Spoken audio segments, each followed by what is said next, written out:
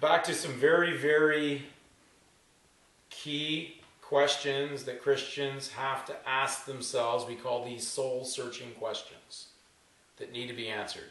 You can only ask yourself this. These are moral things. This is within. Your conscience comes from God.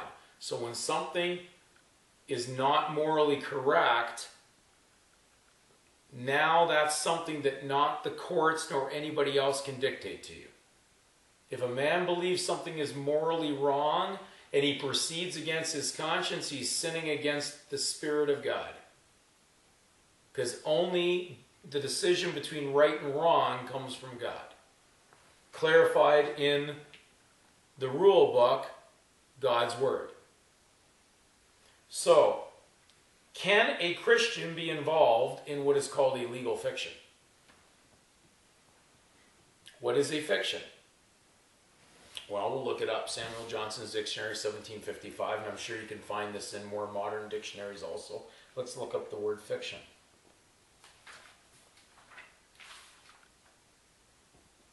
The act of feigning or inventing a falsehood, a lie.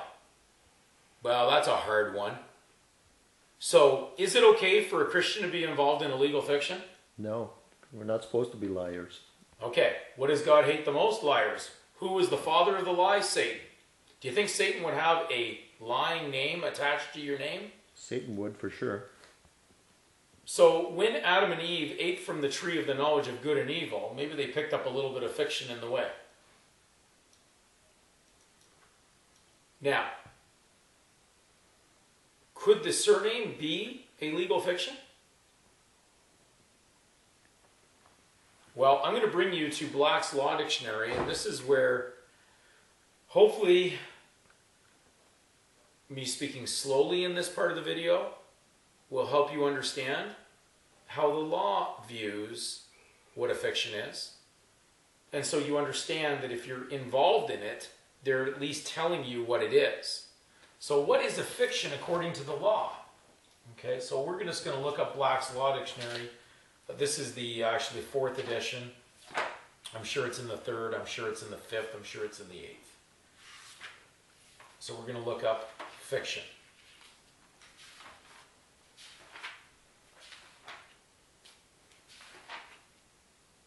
Okay, well, we'll go to fictio. That's the root of the word fiction. In Roman law, a fiction, an assumption or supposition of the law.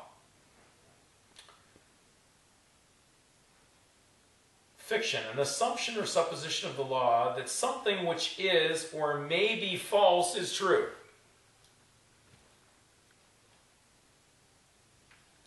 Well, what's a fictitious name then? Because that's the automatic thing I'm going to go to. If I'm using a name right now, what could be possibly categorized as a fictitious name? Very unique definition here under fictitious name.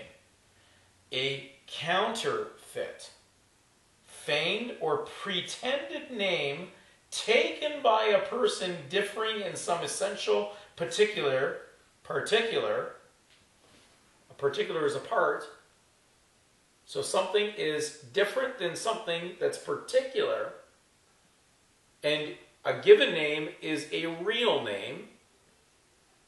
When you take on an additional name or a surname, that's something added on to the real name.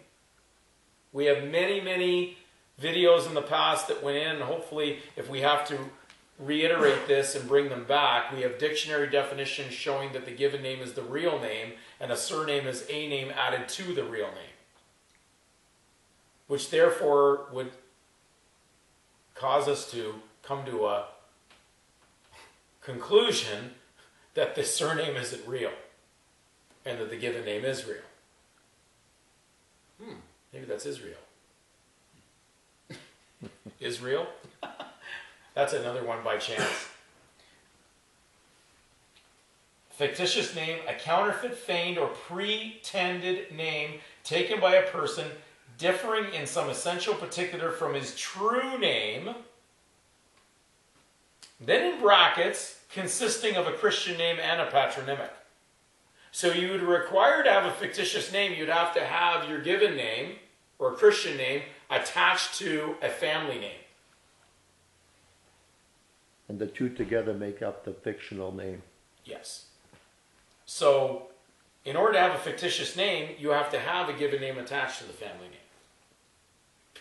It's not having to do with the fact that there is some kind of feigned use of a given name and a and that there could be truth to a family name. No, they're saying that a fictitious name consists of your Christian name attached to what is considered to be a family name. Now you've got a fictitious name. Because truth is a given.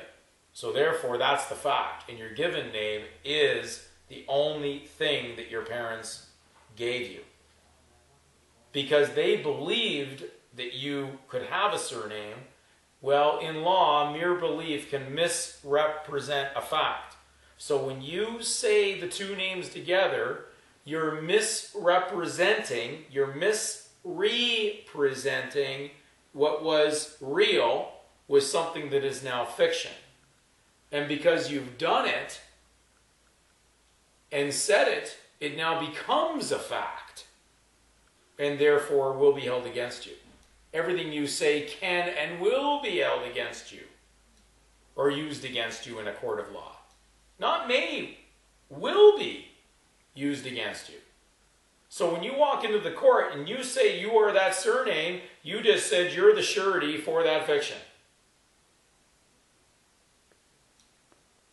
And because that represents arms, title, money, let's not forget Matthew 6 and 24.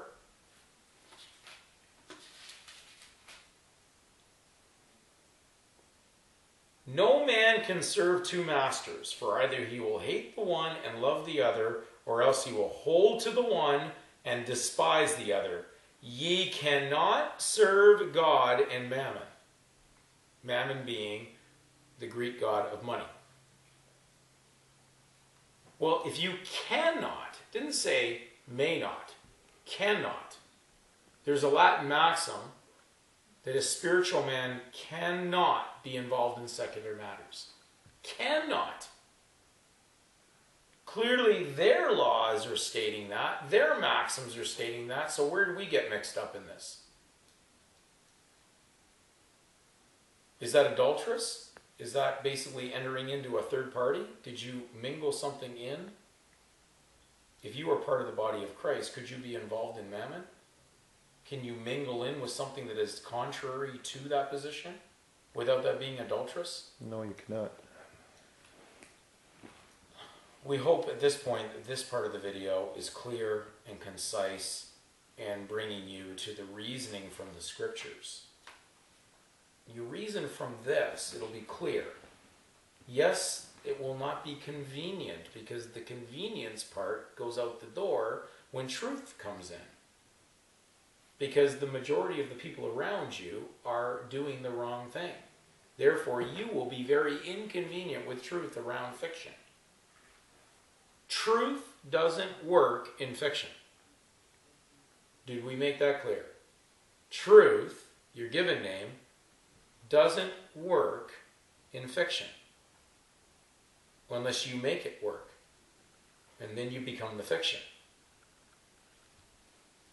There's a Latin maxim that says, fiction yields to truth. Where there is truth, fiction of law exists not. So don't go into the court and say you're the fiction and then expect the truth is going to come your way. God will not hear you when you lie. You will carry your own liability because there's no one to back up the lie other than yourself. That's exactly what happened with Adam and Eve in the garden. The naked truth was they were naked. The minute they touched what wasn't belonging to them, God knew they had sinned. And then they turned it into something dirty. And they most likely, most likely, from the evidence, God saw something that told them, told him that they had sinned. Well, they had coverings over themselves. They had sown fig leaves. And uniquely, the fig tree is a tree that produces true and false seed, fruits. By chance? For some reason, we never got that in Christian 101 on Sunday school. They just happened to use fig leaves? Wouldn't it have been a figment of their imagination that God didn't know what their privates were when they tried to cover them up with something public? So they added dress. They covered themselves up. So they went undercover and God didn't know. Well, he knew when he saw that because he knew something had gone wrong when he walked into the garden and found out that they were covering up.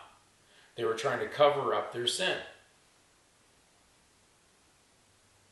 And then out of the garden they went. No more free parking. Now they had paid parking. Do you feel you're in that same situation right now, paying for parking?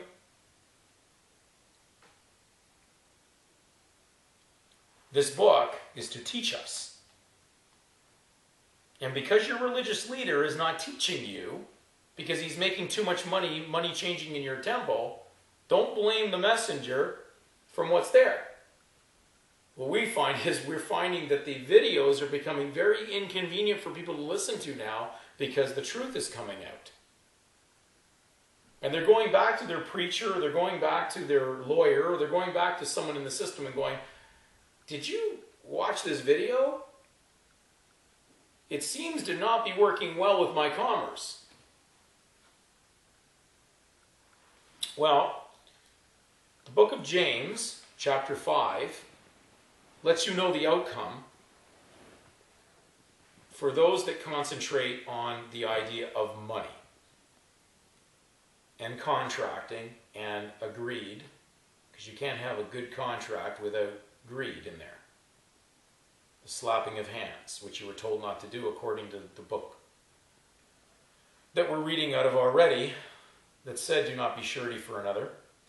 Go, so here we're going to go right in from the beginning on James chapter 1. I'm going to read right through from 1 to 5. We've done this on previous videos. Go to now, ye rich men, weep and howl for your miseries that shall come upon you. Your riches are corrupted, and your garments are moth eaten.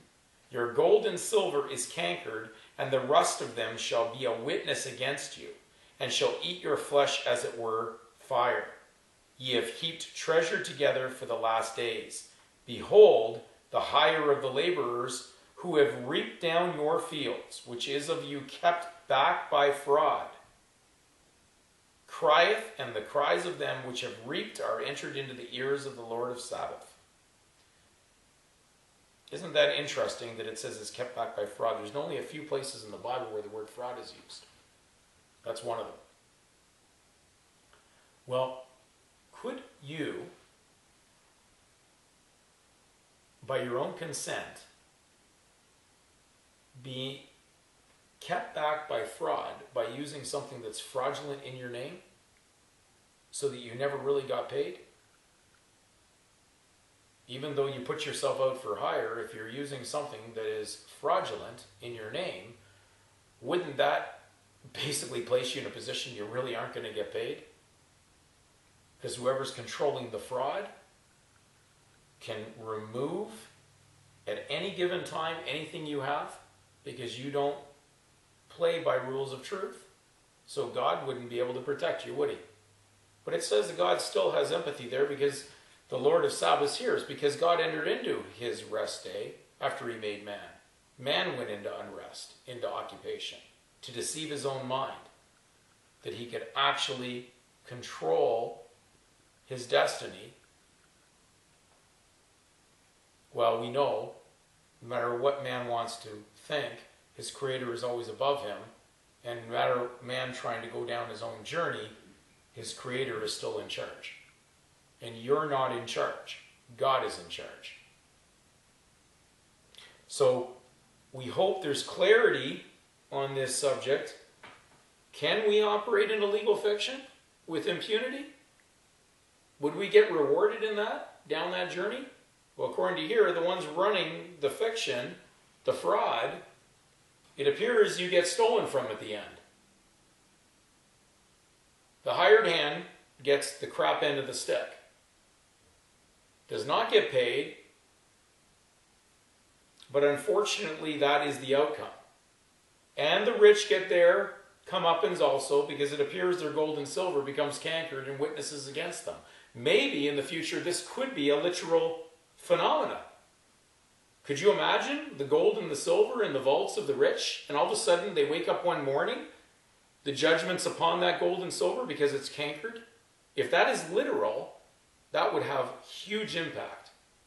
Because for the first time, gold and silver would end up with a phenomena of rust. What worth is that at that point? Who's going to trade rusty silver and gold? So it appears they get nothing also.